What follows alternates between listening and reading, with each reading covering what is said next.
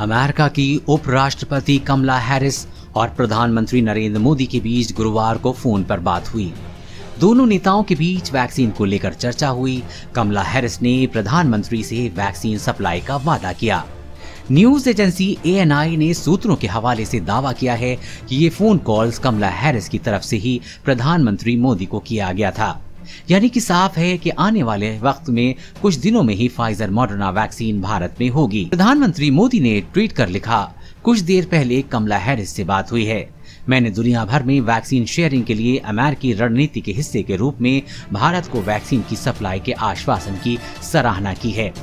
इसके अलावा अमेरिकी सरकार कारोबारियों और प्रवासी भारतीयों से मिले समर्थन के लिए भी उनका धन्यवाद दिया है। पीएम ने ये भी लिखा है कि उन्होंने वैक्सीन को लेकर भारत, अमेरिका के बीच चल रहे सहयोग को लेकर भी चर्चा की है। बताया जा रहा है कि पीएम ने कमला हैरिस को भारत आने का न्यौता भी दिया है। उन्होंने कहा है कि हालात सुधरने के बाद भारत आइए।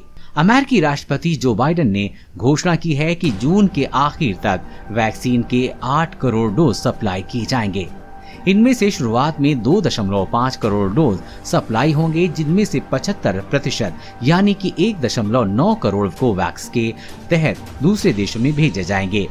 जबकि बाकी बचे 60 लाख डोज उन देशों में भेजे जाएँगे जहाँ कोरोना के मामले तेज़ी से बढ़ रहे हैं।